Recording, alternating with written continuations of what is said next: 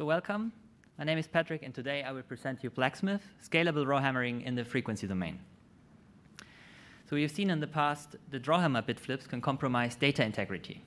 And as a reaction to that, DRAM manufacturers such as Samsung and Micron deployed mitigations on their devices called target row refresh. These mitigations essentially try to estimate the rows that have been accessed most frequently and then send a preventive refresh before the periodic refresh happens. However, DRAM technology scaling has drastically reduced the number of hammers required by the aggressors to trigger bit flips, and this makes this estimation very challenging. Still today, there exists no tool or methodology that allows you to estimate how well these estimations work and to explore the corner cases. Today, I present you Blacksmith, a new tool that allows you to thoroughly assess DRAM devices. And we found with Blacksmith that TRR on all DDR4 and LPDDR4X devices in our test pool is broken. To get started, let, let me briefly introduce you um, DRAM and Rowhammer. So here you can see a PC UDIMM with eight DRAM chips. Each of these chips is composed of um, multiple DRAM banks that are organized like a matrix. And to exploit Rowhammer, you typically have two aggressor rows here in red, and then you access them over and over again, many times and very quickly. This leads to charges that leak from the capacitors in the victim row that is in between those two aggressor rows. And then eventually you will see a bit flip. It has been shown that Rowhammer attacks are very practical in many different scenarios. For example, Rowhammer is possible in the browser via JavaScript, on smartphones, and even over the network. It has also been shown that devices that use error correcting codes are vulnerable against Rowhammer. So let me explain the Rowhammer problem a bit more in depth from an attacker's perspective. So you have to know that DRAM uses the DDR protocol. And this protocol is specified by the JEDEC standard and um, it's a synchronous protocol. This means that all DRAM commands must adhere to specific timing requirements. One of these timing requirements is that each cell on a DRAM device has to retain its information for at least 64 milliseconds. And to achieve this, um, the memory controller in the CPU sends periodic refresh commands on DDR4 devices on average every 7.8 microseconds. And each of these refresh commands uh, refreshes a few of these cells in a DRAM device. And this can be visualized in a timeline. So here you can see a refresh window of 64 milliseconds. And in between of two consecutive refresh commands, we can issue around 166 activations. So this means that an attacker has around 1.3 million of activations where they can spread hammering their aggressors. And what existing patterns do, for example, six-sided patterns, is that they access the aggressors, for example, here, aggressor 1, aggressor 2, and so forth, up to aggressor 6. And then this builds the first round of pattern execution. And this then gets repeated over and over again for example, n rounds covering a whole refresh interval. Let's now switch the perspective to the view of the def defense, of the mitigation. So I will now explain how a mitigation works, a deterministic one, but there are also probabilistic ones. So during normal activation, um, there is a component in the device called a sampler, looks at the DRAM activation commands and tries to estimate the row that has been accessed most frequently. So in this example, it would be row D and then stores this information in a data structure. And then at refresh time, there's another component called inhibitor that takes this estimate, so here row D, and then sends a preventive, um, so an additional refresh called target row refresh to that row before any bit flips can happen. And this problem of estimating the most frequently activated row is a well-studied problem um, uh, solved by frequent item count algorithms. However, adapting those to DRAM devices is very challenging because in a DRAM device we have limited area, so we cannot have a counter for each row. Then there are these timing requirements that I mentioned before. And existing mitigations are deployed in devices lack a proper formal security analysis.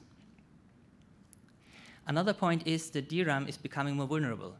So if you look back when Rowhammer was first discovered in 2012 with DDR3, around 139,000 activations were required to trigger bit flips. The newer devices uh, using DDR4 produced in mid-2019 only require around 10,000 activations to aggressors to trigger bit flips. And this potentially allows us to craft new attack patterns where each of the aggressors is hammered less than before. So we started our investigation by looking at existing Rowhammer patterns. So here you can see three examples. You can see a single-sided pattern where we have two aggressors that are far apart, the double-sided pattern that I showed before, and a four-sided pattern, which is an example for an n-sided pattern with n equals 4. And we made the key observation that all of these existing patterns hammer the aggressors the same number of times, so with the same access frequency. And we asked ourselves if this is something that mitigations might have taken into account to facilitate tracking the aggressor rows. And for that, we wanted to know if non-uniformity can help to bypass Rowhammer mitigations. To answer that, we have designed two experiments. So in the first experiment, we take n-sided patterns and introduce some non-uniformity by replacing aggressors in random rounds by a dedicated um, aggressor pair. So here in this example, rows 13 and 15. And in the second experiment, we have complete random patterns. So we have random same, same bank rows that we access, and then at random rounds and random pattern locations, we access again a double-sided aggressor pair, here row 1 and 3. And we run these two experiments on the 40 test devices that we uh, acquired from the three major manufacturers, Samsung, Hynix, and Micron. And here I present you the result of this experiment. So we compare our non-uniform patterns against n-sided patterns. And what we can see here is that non-uniformity is really needed on some devices to bypass the mitigations and trigger bit flips. So this is the first observation that we made, that non-uniform aggressor accesses can lead to effective patterns where previous n-sided patterns could not trigger any bit flips. Although this improved the results by around 15%, there are also cases where uniformity is needed to trigger bit flips. This is why we designed further experiment to explore which properties are important to build effective patterns. So we start with no assumptions and then gradually learn the properties that are important. I will now present the most interesting results from different devices. So the first thing that we wanted to know, when should we hammer an aggressor? And for that, we built the following experiment. So we have a double-sided aggressor pair targeting row 1 and 3 uh, with a length of one refresh interval, and then it is repeated. And in the next round of the experiment, we basically shift this aggressor pair um, by one position. So we do one access to a random row of the same bank before, and then two accesses, three accesses, and so on. And what we observed here on DIMM A10 from Samsung is that only if we hammer right before the refresh, we can trigger bit flips. And this is our second observation, that it's important to access the aggressors at the right time to bypass the mitigation. And here in this example, this can be explained by the mitigation, so the sampling might be less active or not active at all right before refresh. So this property and all other properties that I will introduce uh, in the next slides can be mapped to concept of the frequency domain. So here the offset maps to the phase. In the next experiment, we wanted to know for how long should we hammer an aggressor? Because if we increase um, the time that we hammer an aggressor, we potentially can trigger more bit flips, and this makes exploitation easier. So we start again with the same experiment setup as before, that we shift um, this double-sided aggressor pair, but now additionally, we try more intensities. So instead of just hammering it one time, we also try two times, three times, etc. And what we observed here on this device A10 again is that if we increase the intensity, we can trigger more bit flips, but only up to a certain sweet spot. And then if we go over that sweet spot, then the number of bit flips drops. And this could be explained again by the sampler that might sample us too often if we have a too high hammering intensity and then sensor TRR before we can trigger any bit flips. And this concept can be mapped to the concept of an amplitude where a higher peak corresponds to a higher hammering intensity. And the last thing that we wanted to know if our pattern should be longer than, the, than just one refresh interval. As I mentioned before, devices are becoming more vulnerable, and this means that we can build patterns that are longer, that hammer um, aggressors less time than before. So here in this example, we consider a pattern of two refresh intervals. So this means we also have higher hammering intensities that go beyond just one refresh interval. And then there are combinations uh, where we end up, for example, here, um, where we only hammer every second refresh interval, but this interval with very high hammering intensity. And we made the observation that, in fact, exactly that is very important on some devices, like device B2 from Hynix. Only if we hammer with very long patterns and high intensities, we could trigger bit flips on these devices. And this property maps to the property of a frequency. For example, here the frequency of a half would mean that we only hammer the aggressor pair uh, 1 and 3 uh, every second refresh interval. So from these four observations, we derived this property frequency, phase, and amplitude that we use to build frequency-based Rowhammer access patterns. But now the question is how to determine effective parameter values, because the parameters depend on the mitigation that is deployed on the device, and these mitigations um, are different um, across vendors and also uh, on different devices from the same vendor. And we wanted to have a solution that is scalable, that allows us to test a large number of different devices, a generic solution. This is why we generalized our observations to these three properties, and an extensible solution. So if vendors make any change, we can refine our model. And for this, we built the Blacksmith Rowhammer fuzzer.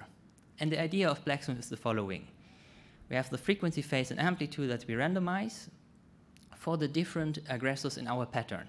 And we do this in a way so that we have compatible values so that we can um, combine them into one pattern. Then we hammer the pattern and we check for bit flips. And then we repeat this procedure over again. I will now explain how this pattern building process works. So here you can see an example. We have um, four times six accesses in this simple example. And so we start with step one, where we have an aggressor pair A1 and A2. For example, we choose the frequency of a half, so we exit only every second uh, base period. Then in step two, we fill up the same offset, but in the second base period.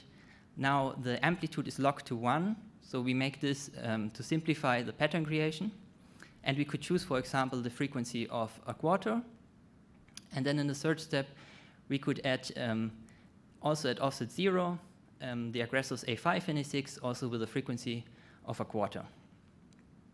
And then in the fourth step, we could add the aggressors A7 and A8 with uh, amplitude for, of 2, for example, and a frequency of a half. And then in the last step, again, we would be forced to use an amplitude of 2, and we could have um, aggressors A9 and A10 with a frequency of a half, for example. And in this way, we craft the patterns. So we have different frequency, phase, and amplitudes combined into one pattern, which makes the fuzzing very effective. And we run Blacksmith on all 40 devices in our test pool, and Blacksmith found effective patterns on all 40 devices, which shows that TRR is broken. And we compared the results to state-of-the-art Rowhammer fuzzer TRRespass, which only found um, bit flips on 15 of 40 devices. Blacksmith also found a considerably high number of bit flips on some devices. For example, device A17 from Samsung, there we found around 138,000 bit flips. This, of course, also has a significant impact on the exploitation. That's why we also looked into existing Rowhammer exploits. So in our paper, we analyzed three exploits. The PTE exploit worked on 30 or 40 devices, and we found exploitable bit flips in between 3 seconds and 2 hours and 8 minutes.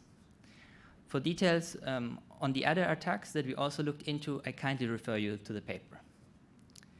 And to the conclude, the PC um, evaluation, so 100% of all devices in our test pool are broken, and the DIMMs are weaker than reported before. The high number of bit flips facilitates the exploitation. We also looked into LPDDR4X chips, which are used, for example, in smartphones and ultrabooks, and we also found there that all of these devices are broken. If you want to know more about this part of our evaluation, I kindly refer you to our paper. So this concludes my talk. We've seen that Blacksmith, compared with fuzzing and non-uniform frequency-based patterns, is a very scalable and highly effective approach. And we showed that all current TRR mitigations are vulnerable. Blacksmith's approach also generalizes well. So there was another DRAM vendor that we did not include in our evaluation that approached us and wanted to know if their devices are safe. And we ran Blacksmith on these devices and found bit flips in less than four hours, although we have never seen those devices before, so we didn't do any experiments and observations on them. And our work stresses that we really need principled mitigations with provable security guarantees instead of the obscure and proprietary mitigations that DRAM vendors currently use. And if you want to know how to design such principled mitigations, I kindly invite, invite you to the talk of my colleague Michele about ProTRR, principled yet optimal in DRAM target row refresh. Thank you very much for your attention.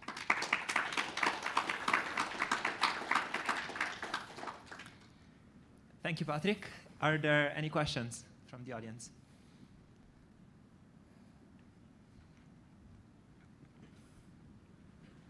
Uh, so my first question is, oh, thank you for uh, the amazing talk.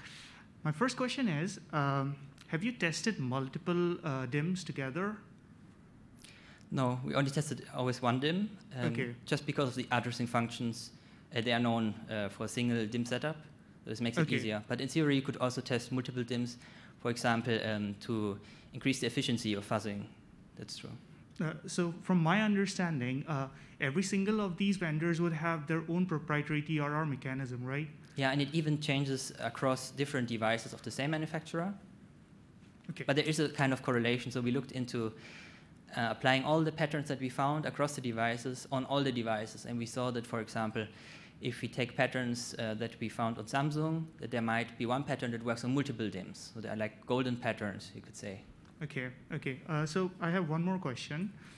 Uh, Blacksmith requires a large number of things to be maintained in terms of timing.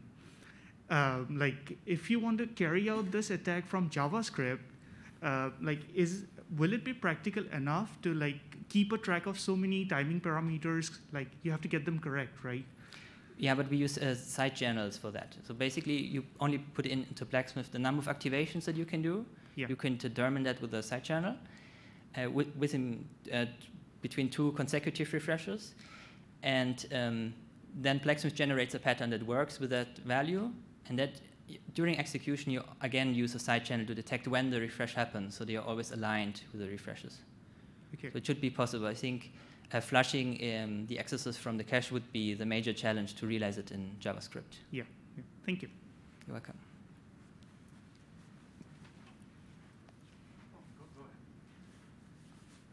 So, uh, Alyssa Milburn, Intel. Um, have you tried the ECC-based attacks with this? No, we haven't looked into that. Do you plan to?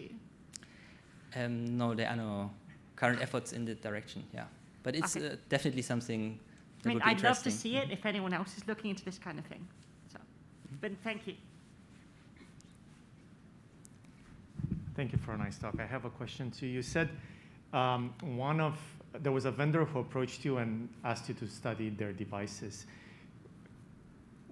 Were you studying their TRR mechanism, or you're stu- studying their underlying sort of medium of how did it did those devices have TRR in them? Yes, they also had a mitigation, um, and So- we did not include them because a small vendor, um, and they send us some sample devices as UDIMMs, so DIMMs So, that are so my, my question is, do they outsource this TRR? Like, how, they're building their own devices. Don't, don't they understand how their TRR works? Like, wh- why, why would they ask you to study it, to Uh, discover if it works only to not? test if they're vulnerable, because they claimed in the DDR3 devices um, that they have um, a design that allows you them to, to mitigate Rowhammer, and that they, that's why they wanted to know if DDR4, their DDR4 device is also safe. And, and did they share with you how their TRR work? No, no. Did you consider asking them, hey, tell me how TRR works, and then I'll tell you exactly the right pattern of breaking this? Isn't that sort of They're interested in the mitigation of my colleague Michele, Okay. um, but I think they did not share with us any details about exactly uh, how the mitigation works. thank you? You're welcome. Okay, let's thank